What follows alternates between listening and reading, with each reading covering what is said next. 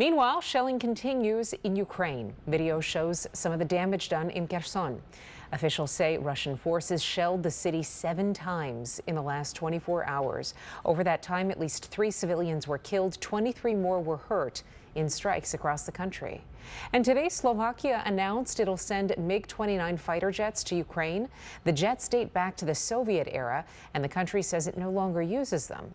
Slovakia is now the second NATO member after Poland to do this. This is Watch breaking news on YouTube. Subscribe to ABC7 Chicago Eyewitness News.